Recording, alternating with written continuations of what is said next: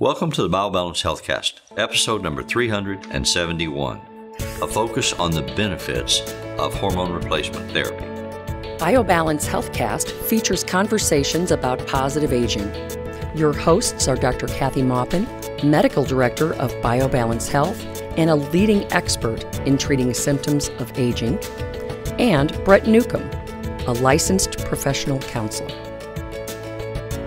Dr. Maupin and Brett are the authors of The Secret Female Hormone, the seminal work about hormone replacement therapy for women, which is available on Amazon or from Dr. Maupin's office at BioBalance Health. Dr. Maupin's office is currently accepting new patients. Dr. Maupin and I just returned from a medical convention in Tucson where the whole focus of the presentation, the, the reason these doctors come together is to talk about hormone replacement therapies, whether they are advisable, whether they're good or bad, what to do, how to do to make the best outcome for your patients. But a good deal of the discussion that always occurs in these events is discussion about the limiting uh, agencies or agents that try to interfere with the message about hormone replacement treatment and, and say, oh, it's not a good thing to do. It's not a safe thing to do. It's not a recommended thing to do. And then they spend time presenting all this research and all this information that says we have these miraculous results. We have these results that people are looking for that can be done without negative side effects and it's beneficial and doesn't cost a whole lot of money and blah, blah, blah, blah, blah. And then they stop and say, however, the systems in power, the decision making regulatory systems, not only of the federal government, but of the American Medical Association, mm-hmm. come out and say, oh, we're not sure this is safe. You probably don't want to do it, or you only want to do it in the most extreme circumstances where you build a case of justification uh, to protect yourself legally. Uh, so, so for instance, uh, the Food and Drug Administration regulates a lot of this, and they say, well, testosterone for women is not approved. We're not going to say it's no a good treatment for women, even though there's enough medical research to fill this room to uh-huh. say women make testosterone. They lose their ability to make testosterone. They benefit from having testosterone. There's a natural testosterone that can be put given to them to replace the testosterone that they've lost, and it comes with all these ancillary benefits without very much in the way of side effects. And we can talk about what those are. We know, and so it's out there. But then the regulatory agencies say, well, no, don't do it. And all the different medical societies, the endocrine societies, uh, the gynecology societies, the uh, heart specialists, the, I mean, almost all of them say, don't do it. While at the same time, their their own journals are replete with articles that say, "Hey, look at this. Yeah, this hey, it works. You know this. Hey, this is interesting." But all the public hears, yeah, is that the AMA said don't do it and that the the College of OBGYN said don't do it and then so so why is that? So one of the one of my beliefs is that you know you would think that the American College of OBGYN would actually be representing their members. Right. And we pay to belong to it and you know and we pay to be board certified. And you know every time you right. turn around you have to pay for something for this for what, all the medical organizations that you belong to. However, the way the American College of OBGYN works is they get a lot of money from the drug companies. They and the medical device companies. Those people put money into their journals and into their um, their conferences. They they support the, the conferences. Gold they sponsor, sponsor yeah, the gold, yeah. yeah. So so all of this is really the big money, not the money from the doctors. Yeah. So so you have to always say, where's the money from? Right. Well, the money's from from the drug companies and from the device companies. So in the end, our college doesn't really represent us, and they don't ever come to help us. I mean, if we had a, if we had an unnecessary lawsuit, they're not going to help us. Mm-hmm. They would they they just go, you know, you got insurance for that. Right. So they don't advise us. They don't. Ha- I mean, really, there's very little that they do for us for managing all of these OBGYNs except to hold us back. Because if they hold us back from new and innovative and God forbid cheaper uh, kind of treatment, then we won't need all those other drugs. It's almost as if it operates in restraint of trade. It does. It does. I mean, they're always looking at how do we restrain you from doing something new? And how do we restrain you from their they their level their basic level of care that they say we should follow is so low, like minimal of everything. Minimal treatment, minimal drugs. You don't have to do this till somebody's dying. I mean, it's not preventive medicine. It's not medicine that you would want if you had knew the choices you would want the best medical treatment but well, they they just say here's the lowest that you can offer and that's our our basic uh, what we say is necessary well let's talk about specific examples uh, if you hear the word cancer most americans when they hear the word cancer immediately think death sentence and for so many years, a cancer diagnosis represented a death sentence. And many cancers it does. And, but now we but, know we make distinctions. There are a lot of different kinds of cancers. And most of the people who get a cancer diagnosis don't die. Mm-hmm. Some still do. Some we don't have answers for or treatments for. But some we've learned more and more about. And it is not automatically a death mm-hmm. sentence mm-hmm. to say cancer. And the one that scares women the most is breast cancer. Right. And and so they they presented a slide in one of the presentations that said what most women think they will die from. And the slide said they'd surveyed all these different women, mm-hmm. said that mo- between 40 and 60% of women say, I'll die from breast cancer. Mm-hmm. Uh, 15 to 18% said, well, I'll probably die from some cardiovascular system. My family heart has heart issues, and if something takes me, that's probably what it'll be. Mm-hmm. So then they did the research to find out what kills most women in America. What do they die from? And the answer that they found was that they actually die more from cardiovascular disease, mm-hmm. from heart attacks.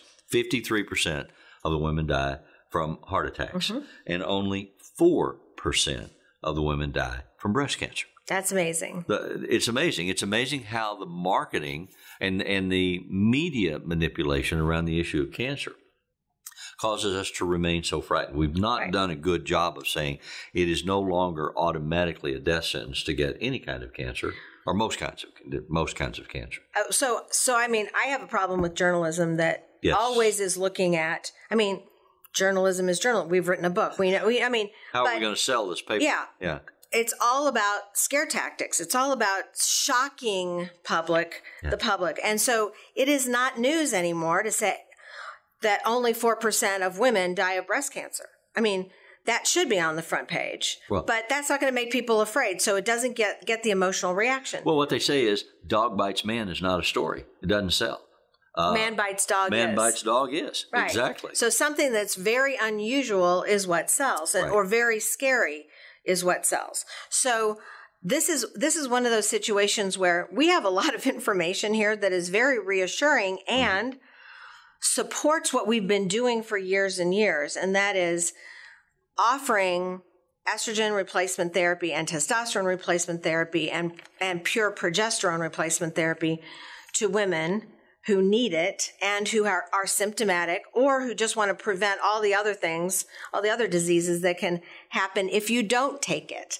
So we've been doing this knowing that our patients get better. Mm-hmm. I mean, you don't have, I don't have to read, an article that's a research paper, I can read it and say, well, that doesn't ring true for my patients. There's something wrong with the article, or it's something that is specific to that group of people, but not my patients. Right. So, so you have your own clinical sample. You've right. been doing this for 15 years and you have thousands of patients. I've been doing it for 30 years. Well, the HRT. Four months. I've been doing HRT for 30 years. For 30 years. But not, not the bioidentical so pellets. What happened systemically was that the hormone replacement treatment market, if you will, as a market, uh, was growing exponentially in the United States and in Europe. Women were saying, this keeps me alive. This helps me. I feel better. I have all these ancillary benefits. I can have sex. I don't and have the pain. doctors that treated those women said, "Amen. This is good. Let's mm-hmm. put you on this, uh, especially when you're uh, postmenopausal. Mm-hmm. We, you will need this." Then they did a study, which was an erroneous badly constructed study. And halfway through the study, they closed the study because the results that they were getting from the bad science said, oh my God, HRT will kill you. You get breast cancer or heart attack and, heart attack. and die. So the media was told that, hey, we canceled this research because we want to warn everybody everywhere this will kill you. Don't do it. And that became the mantra of the Doctors Association Mm-hmm. and of the media around the United States. They said, oh my God, don't do HRT. If you're a woman, stay away from estrogen replacement in particular. It will give you breast cancer and heart attack and you will die. And that's the problem with media and the the title. Whatever they put in the title is all anybody reads. And the real problem there Right. was that one part of the study had a drug called Provera in it.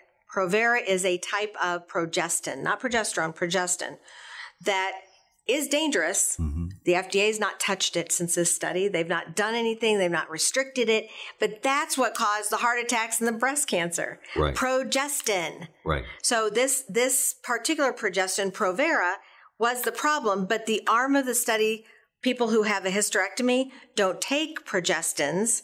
That arm of the study, now it comes out, all those women did better. They got less breast cancer and less heart attack. Mm-hmm. So if you take if they if you take estrogen only and not this Provera, then you have less than someone who takes nothing. If you take it with Provera, you get more. So they misinterpreted the whole thing. Doctors didn't bother to read the study. I did because it didn't look like what I see in my office. So one of the studies that they quoted at this conference that we attended has done research on the damage that was done to the health of women when the mass media and the regulatory systems all converge to say, "Oh my God, don't take estrogen replacement; it'll kill you." Secondary to the WHI study. So Secondary everybody kind of knows what study. that is. So they did a study called the mortality toll of estrogen avoidance. And it was published in the American Journal of Public Health in 2013. Mm-hmm. And it said between 2002 and 2013, they estimate as many as 90,000 women died as a result of not complications from not replacing their estrogen. Right. So that it led to the, the absence of estrogen among these women led them to be susceptible to a variety of illnesses, cancer and heart attack being two of them, but others as well, that led to premature death. And that if they had been given estrogen all along as, as, as an available uh, and considerable treatment plan, they think many, if not most of those women would not have died. I mean, cardiologists know this. They know that estrogen prevents heart attack. In fact, my cardiologist, when I got a zero scan on or 0 mm-hmm. level on the cardiac calcium scan, he goes, "Well, that's because you've been on you've been on estrogen since you were 20, 47, He said. Yeah. So that's why it's he. It's also true that testosterone, in the form that we give it, decreases plaque.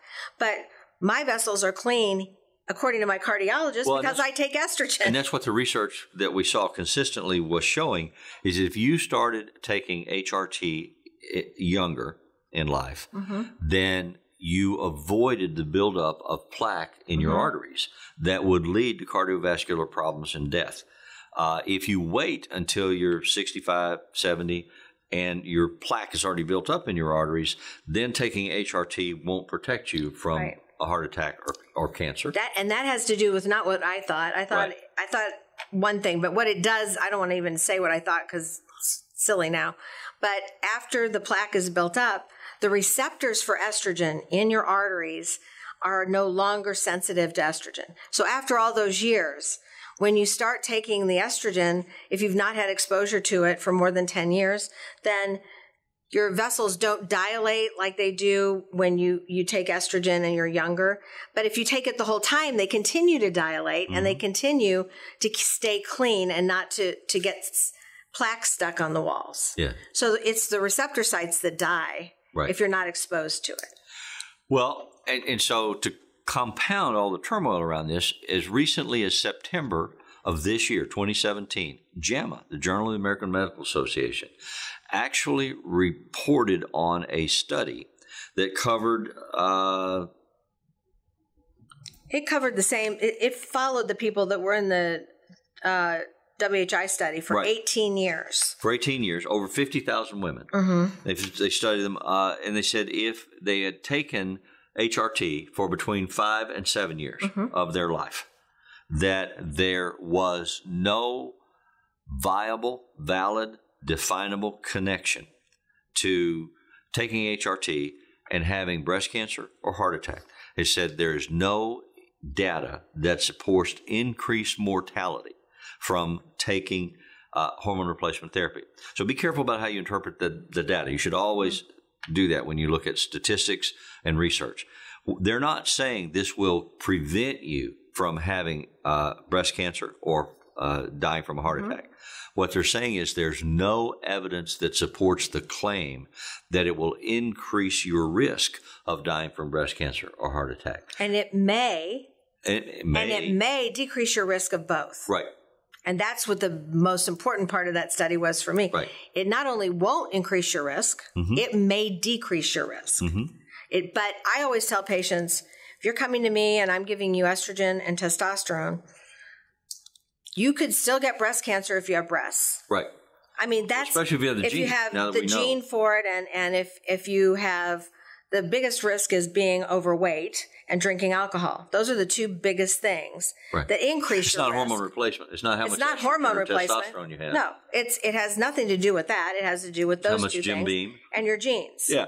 You know, it, it could be wine, but it, it it's just those are the two highest risk factors besides smoking, which everyone knows. So the doctor that presented this particular presentation was Dr. Gary Donovitz, and mm-hmm. he was identifying uh, typical questions that women will ask if they come to a doctor's office mm-hmm. to have a discussion about is HRT the way for me to go? Mm-hmm. Is this a treatment that I should consider, something that I should have? And he said, We need to have answers for these questions. We do have answers for these questions, but we need to polish those answers to make them readily absorbable and understandable mm-hmm. in the female population that wants to consider HRT, especially mm-hmm. because of all the adverse publicity and erroneous publicity over the last 16 years since mm-hmm. the WHI study. He said, Women are going to ask, Will this cause me to have a heart attack? I've heard that it will. Mm-hmm. Women are going to ask, Will this cause me to have a greater likelihood that I will develop cancer, in particular breast cancer? I've heard that it will. And it doesn't. And the answer to both those is not only no, but hell no. Absolutely no. There is no data that supports the increase in risk in heart attack or cancer, breast cancer. No, no data done with a well done study. I mean, a right. reasonable study that wasn't skewed for some reason. Right. Or tampered with. Exactly. So you can always find a study somewhere. so then the next question is will it cause blood clots? Now, you had a, a, patient that came from Australia mm-hmm. because she had started developing blood clots and, and flying. an elderly lady mm-hmm. that flew long hours to, mm-hmm. to get from here to Australia. Mm-hmm. Her son was a physician, contacted you mm-hmm. after having read your book and said, is there something you can do for my mother because she wants to travel? She's in she a was position take, to travel. And she was taken she off. Yeah. She was taken off her estrogen and no longer can she not fly. No longer, she was so, she had agoraphobia. She mm-hmm. couldn't leave her house because she had no estrogen. That's some of, some, these are some of the unusual th- side effects of not taking estrogen anymore. Right. So what I did was I, ch- I checked her for the seven genetic tests that tell a person whether they're at risk for a blood clot. And she had one that told me that she needed folic acid at high doses mm-hmm. and then she would be normal. So basically, I said, I'll give you estrogen. It, it's not your genes. It's not, it, it was the long flight, no, no support hose, not moving for all that time. Plus you hadn't taken enough no, folic, folic acid. acid. Right. So if we do these things, you're at no higher risk than anybody else. And you're going to get, you're going to be at lower risk because you're going to get up and walk around. It wasn't her estrogen. They treated the wrong thing. Right. So that's how I. So that's so blood clots is not a, a, marker that says, "Oh my God, don't consider that's, HRT." That's right. It is not. All right. Uh, hair loss. Hair loss is from testosterone. He was talking about the side effects of testosterone and estrogen. Uh-huh. So um, testosterone is associated with hair loss, but only one percent of the patients who take testosterone get hair, hair loss. One percent, and usually, if they have hair loss from low thyroid or high cortisol or uh, poor diet or um, sorry, but often vegans have very thin hair because they don't have enough protein. Right. And so, so Which doesn't have to do with their hormones. It has nothing. None of those things have anything to do with your hormones. But if you're on testosterone, every doctor that I've ever heard of says who doesn't know anything about this right. says, "Oh, it's your testosterone," and, and they walk out of the room. Right. And they they don't give you an answer and they don't work it up. So So, so that's a huge problem because doctors don't even know that. So it's only 1% who are going to get hair loss and the hair loss from testosterone occurs here and here.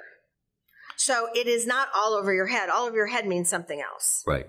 So, so having hair loss here and here, we, when we recognize that, that means you have really sensitive receptors. You're ex- accepting the testosterone, turning it into DHT in the hair follicle and hair is falling out. So we, we take steps to, To prevent counteract that. that. To- So, the- but it's one It's not fifty percent, or Right. it's not. It's one percent, which is negligible, Well, and the second question they ask you about hair is if I'm not going to have hair loss, will I grow a beard? and that also is no under my care. No, Right. I give people spironolactone, which is a very benign medication to prevent that. And that is in people who usually had hair on their face before they started this, and then they lost it when they lost their testosterone, and then they don't want it back. So we do that, or we use saw palmetto, which is also a supplement you can buy over the counter. And that's for people who have very mild hair growth or they have blonde hair growth and they just don't want that. So these these are all questions that Dr. Donovitz says. As a physician, you're going to be asked these questions. You Mm-hmm. need to have accurate and reasonable and absorbable information to give your patients Mm-hmm. so that they can make a good decision. That's right. And and patients, we we absolutely believe you should always be an active part of the decision making process. You need to be an informed consumer. Well, so if a doctor on says, us to give you It's your testosterone Yeah. and you have hair loss all over your head, you need to grab them and say, Come back here. Yeah. it's not my testosterone. and I it- mean, you need to talk to me more about this. Please, you know, give me the time. And the last most common question that that gets asked, for which we need to have a reasonable and and defendable answer, Mm-hmm. is will it make me fatter? And that's no, because when you go through menopause as a female, you immediately become insulin resistant. So all the carbs that you eat immediately become fat. So menopause makes you fatter, but adding estrogen and adding testosterone actually makes you able to lose the weight. So that is, but you also can't eat all the carbs. I mean, that doesn't go away. You're still more sensitive to carbs than you were before menopause. So menopause makes you gain weight, but not hormones. Yes. So the uh, Hallelujah Come to Jesus message is you don't need to be afraid of HRT treatments. You need to have the research and the information so that you can make an informed decision. It is not a panacea for all things. It is not uh, recommended for all people, but there are specific people who need it.